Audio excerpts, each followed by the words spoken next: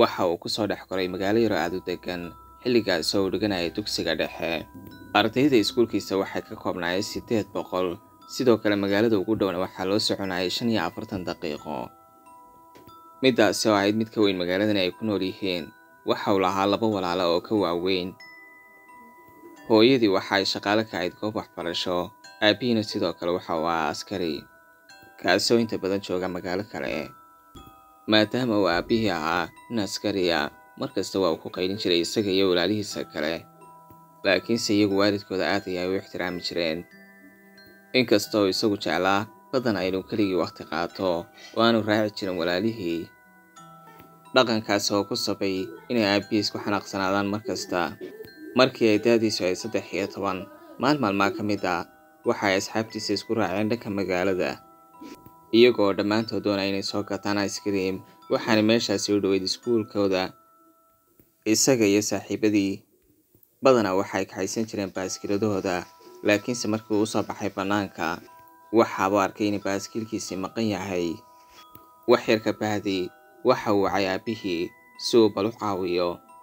Ma uu ka fogeyn markaasi waanu u yimid. Aabbihii waa uu yar waraystay sidoo kale saaxiibadiina way iska tegeen iyagoo u soo raadinaya baaskiilkiisa isaguna waxa uu ku hadhay aabbihii. Markii ay soo dhaqaaqeen iyagoo magaalada maraya waxay isagii aabbihii arkeen.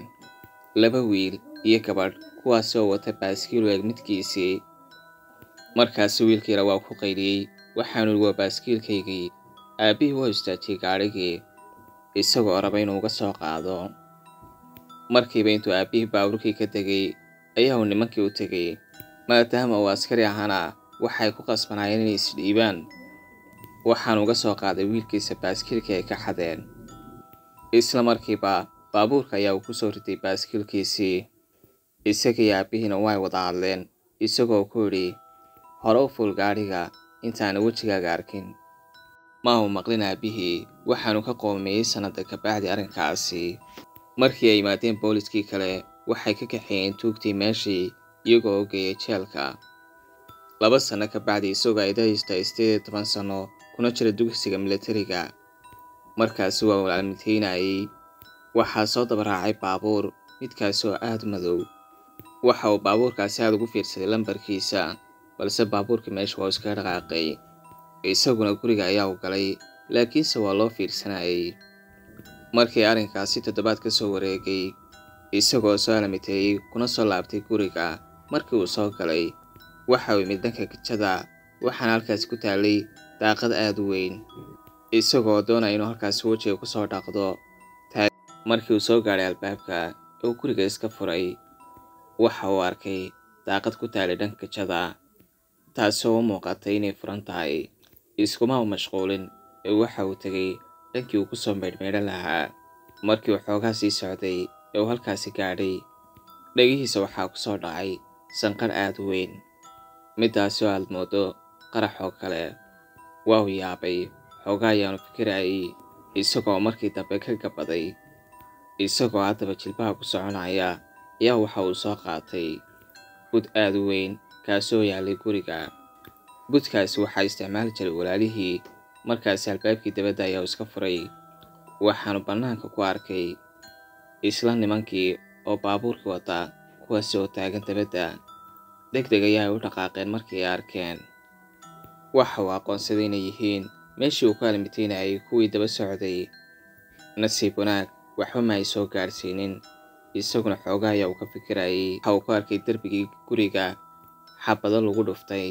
Waxaanu la xidhay booliiska. Markaasi waa yimaadeen. Iyagoo u fiirsanaya waxaan meesha ka dhacay. Isaga ayaa ay waraysteen magaaladu way yar weyneyd laakiinse xaafadeedu waa ay koobnaayeen waanay ku adkayd inay hore u soo helaan dadkaasi. Si walba aataba boolisku waxa uu sheegay inay raadin doonaan dadkaasi. Laakiinse inuu bannaanka u baxo uu ku qaldanaa isagoo bujita maxaa yeelay raggaasi waxa ay siteen xabado. Markii ay maalmo ka soo wareegeen waa lala soo hadlay iyagoo loo sheegay in la helay ciddii dhibaatadaasi ka dambeysay. Waxaanu aqoonsaday inuu yahay ninkii ka xaday baaskiilka sannad ka hor isaga iyo aabbihii arrinkaas waa ay ka fikireen iyagoo isfiirinaya. Waxa uu aabbihii kula taliyey inuu joojiyo alamiitada meeshaasi uu ku samaynayo sidoo kale ninkaasi dhibaatada u geystay waxaa lagu xukumay sannado badan. Maxaa yeelay waxa uu dilay gabadh waxaana loo sheegay ninkaasi inuu yahay nin dilaaya oo aad iskaga ilaaliyo. Markii ay muddo badani ka soo wareegtay isagoo ay dadiis tahay labaatan maalin uu soo galay guriga waalidkiisa waxa uu ku arkay gajada joornaal. Joornaalkaasi oo ku qornaa. Gabadh ayaa la waayey gabadhaasina waa la raadinayaa. Waxaa laga dhex helay gabadhaas jidhkeeda baabuur iyadoo la gubay. Isagoo wiilkiira weli aqriya joornaalkii waxa uu ka arkay magaca. Ninkii isaga ka xaday bushkuleetigiisa kaasi oo sidoo kale toogtay aqalkooda arrimahaasi uu geystay daraaddoodna waxaa lagu xukumay xabsi aad u dheer. Waalidiintiisa waa uu sheegay ninkaasi dhibaatadiisa. Muddo ka bacdina waxaabay ku fikireen inay magaaladaasi ka guuraan. Waxaanay markaasi u guureen aqal kale oo awoogood leeyahay. Ninkii dhibaatada geystayna waxa uu u xidhnaa dembiyaad u fara badan